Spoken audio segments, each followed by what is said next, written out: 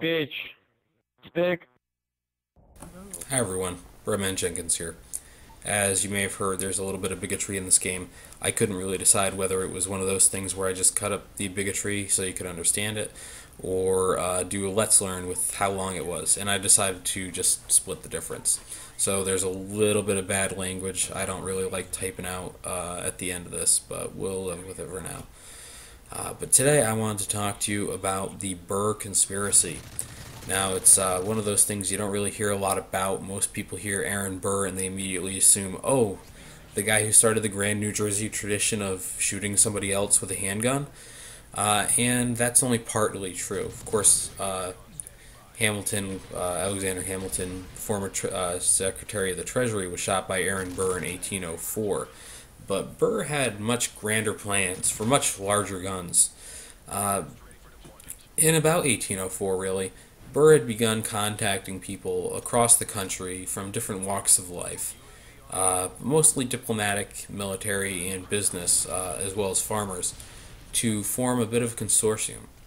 Now, uh, this group of people were people who may have been attracted to Burr's ideas for a variety of reasons. Burr had actually purchased or gained a lease from the Spanish government for about 80 square miles of property out in the Texas area. And with this, he had proposed going down the Mississippi River and uh, starting up a different country, different society, uh, really, maybe even a different state. Who knows? It's actually a murky issue. Uh, there's not really anything sure, and much of it's really been lost to the uh, the idea of making uh, Burr a villain, or at least a bigger villain than he is in American history.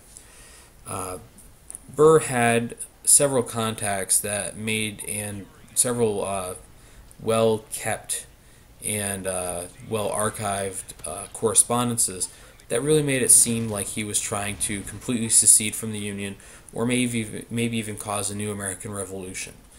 And this is kind of called into question because he was trying to get support from governments to get money and supplies that could have been used to protect a colony, or it could have been used to actually overthrow the government. But here are the facts. In about 1804, Burr had begun contact with a Spanish ambassador in Mexico about getting funding to overthrow the U.S. government. Uh, he had also at this time purchased the land in Spanish held territory, or purchased the lease to the land in Spanish held territory. He had also, by this point, had uh, persuaded Thomas Jefferson, the man who he was serving as vice president to, to appoint James Wilkinson, who was a former Revolutionary War general, who was a current general in the U.S. Army, who had tried to secede from the Union in Tennessee and Kentucky in the eight, uh, 1780s.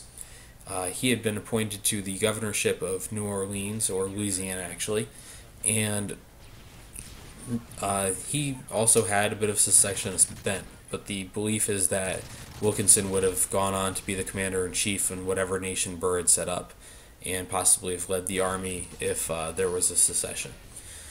So he uh, Burr had also had contact with the British government through an ambassador there, and uh, the British government had no interest, just as the Spanish government had no real interest in supporting Burr or any sort of dismantling of the United States. So, with this lack of support, when Burr went off and shot Hamilton for insulting his ride, uh, or whatever it was, uh, Burr had to really make some quick choices. And this is when he started to uh, associate with a man named Hiram uh, Bellin Harris, and he was an Irishman who had a large estate and uh, a mansion out on a river named after him, uh, or a or an island named after him in the Ohio River uh, in what's now West Virginia. And from here, Burr was able to kind of uh, get his game together, as it were, to organize the people who were going to go with him down the Mississippi to the territory he purchased. Uh, these included farmers, soldiers, uh, really people from all walks of life, uh, the people you'd need to really set up a, a successful self sustaining colony and defend it. So, Burr was about to travel down the river when the governor of Ohio actually raided the island and Burr had to go with a much smaller force. Uh, Burr going down the river wasn't really successful. He was eventually apprehended and tried in West Virginia. Uh, he would actually be defended by a young man who would go on to be a, uh, a small legend in the United States House of Representatives, uh, Henry Clay, who was at that time a young lawyer. Uh, and he was actually successful in uh, keeping Burr out of jail in this case. Burr was accused of uh, treason and high misdemeanor for, uh, well, one, possibly trying to overthrow the government, and two, uh, because he had tried to involve other countries in it and take their territory uh, if he seceded. because, of course, the areas he was going into were not actually owned by the United States. Now, this has raised a lot of questions, as I mentioned earlier, over what Burr's actual intentions were. And while they range from anything from trying to stage a revolution against the Spanish in Mexico uh, to staging a revolution at home, uh, all the way to actually just establishing a new colony or a competing nation on the same continent as the United States. It's never been really clear because of the way he's been uh, pictured through the history and through the way he uh, conducted his business trying to get this set up. Uh, what was really the turning point in getting him convicted and brought to trial was James Wilkinson, the uh, former Army general and governor of Louisiana, turning on him and providing uh, Thomas Jefferson with documentation showing that Burr planned to secede from the Union or completely leave it, if not establish a competing nation and possibly overthrowing the government. Now, how much of that's actually accurate, who knows? If Wilkinson forged parts of the letter, it's questionable. There's a lot about this that is questionable. Uh, but Wilkinson would go on to be tried uh, by Congress twice in in preceding years and die penniless like Burr would after he fled the country at the conclusion of this trial. Uh, Burr would go to Europe, trying to rally support in England and then France for his return to the United States and his attempt to overthrow the government. Uh, now he he obviously wanted to. So this trial also brought up a very interesting point uh, I hadn't really thought about for a while that I think people are going to find very interesting, uh, especially now, and that is the idea of executive privilege. This is possibly one of the earliest and best examples of executive privilege being used by a president. And in this case, Thomas Jefferson uh, refused to uh, provide documents uh, requested in a subpoena uh, while trying to charge Aaron Burr. Uh, if these documents would have helped or hurt Burr's case is anyone's guess, uh, or it would have shown there was some sort of U.S. government complicity and it may have been an attempt to overthrow Spanish in Mexico. Who knows? the last one, of course, is a bit conspiracy conspiracy minded, but hey, that's the place for it. So uh, Jefferson really set precedent in this one by saying that, in his view, the executive had choices whether or whether not to turn over documents requested, and if the documents were actually pertaining to the issue at hand. Uh, this would, of course, be going to use by almost every president since then, uh, but most notably by Richard Nixon, George Bush, and President Obama, uh, relating to Vietnam and the White House tapes the Iraq War and uh, drone issues over uh, drone use over Pakistan and the war in Afghanistan, uh, respectively, of course.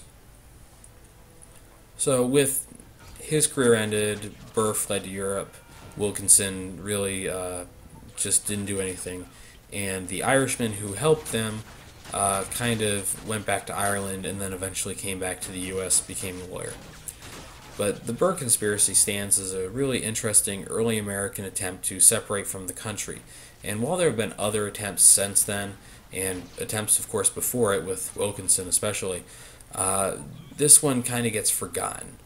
Uh, of course, the Civil War gets brought up more, but this wasn't an issue uh, of states' rights or slavery or anything like that. This was a, a single man and a few like minded compatriots trying to leave a country and it shows us just how far the U.S. came between then and 1860, where it took a shadow government to really do this. I'm Roman Jenkins. Bye.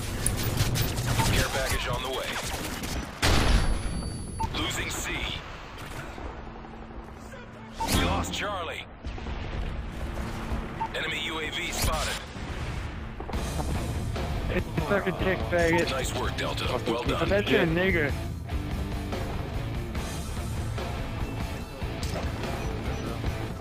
Yeah, That wasn't is. my brother, though. That wasn't mine. Oh, you support Hellraiser. Star. How much more of a faggot could you What the fuck is your name? Redog? Red Dog? be? Hellraiser.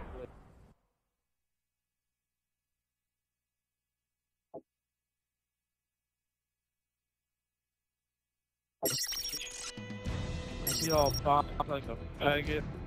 When you talk shit and you back out like a pussy. Not you, I was talking to that Redog.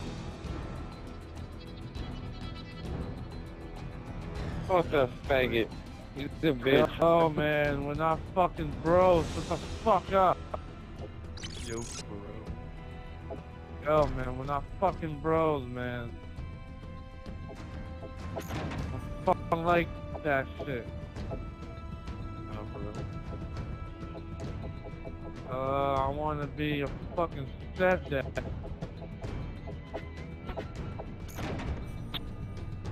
Yeah, I want to be a stepdad. You're a stepdad. Yo, hey, Stepdad. yo, hey, back up.